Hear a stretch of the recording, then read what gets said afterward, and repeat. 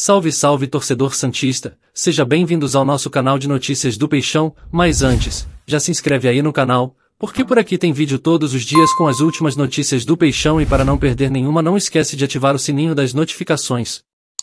Presidente do Santos é sincero sobre negociações por xodó da diretoria do Inter. O presidente do Santos deu as caras e falou sobre os rumores de saída do Meia para o Beira-Rio em 2023. O Internacional foi recentemente exposto como um dos clubes que monitora a situação de um meia do Santos. A posição de camisa 10 do Inter é uma das prioridades do time para 2023 e com isso, segundo Lucas Mussetti, do portal UOL, a diretoria colorada segue tentando contratar o nome da equipe paulista. O meio-campista do Santos recebeu propostas e sondagens de clubes do Brasil e também do exterior nas últimas semanas. Dentre os interessados, o Internacional é quem mais insiste. O Colorado esteve na briga por Zanocelo antes mesmo da chegada ao Peixe gostaria de contar com o jogador de 21 anos em 2023, revela o portal.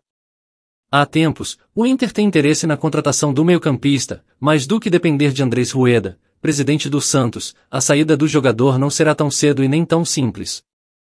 Isso porque o portal Revista Colorada entrou em contato com o mandatário do time paulista, que afirmou não ter vontade em negociar com os gaúchos. No momento não temos interesse em negociar ele com o Inter, revelou o presidente do Santos. Ainda segundo a revista Colorada, o interesse do Internacional no meia é uma prevenção, uma vez que uma saída de Maurício parece cada vez mais provável nos bastidores do Beira-Rio.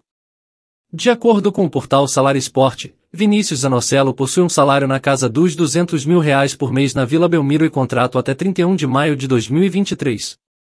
O valor é considerado baixo para um nome do potencial de Zanocelo, e o esperado é que o jogador atraia cada vez mais propostas até o fim de seu vínculo.